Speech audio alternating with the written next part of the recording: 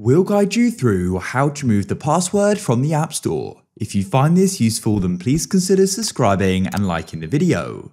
It's super useful to be able to do this as you can then download apps without having to type in your password. Now there are different ways you can do this, so make sure you watch this full video to learn them. So first of all, go and open up your settings like so. Then what you can do is go and scroll down to Face ID and passcode and click there. Enter in your iPhone passcode. And what you can do is instead of using your password, you can use your Face ID for the iTunes and App Store.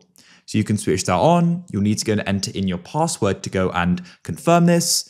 And then after you've done that, you can then go and start using your Face ID. However, for the next method, you need to make sure this is turned off, iTunes and App Store, if you don't want to use it.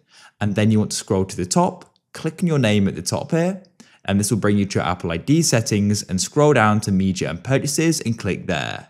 Then click on password settings.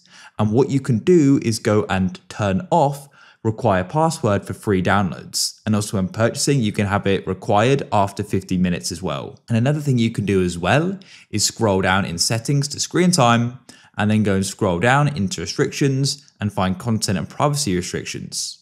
And then at the top here, make sure they're switched on, come into iTunes and App Store, and where it says require password, you can go and set it to don't require. So you've got a few different options there depending upon what you want to achieve.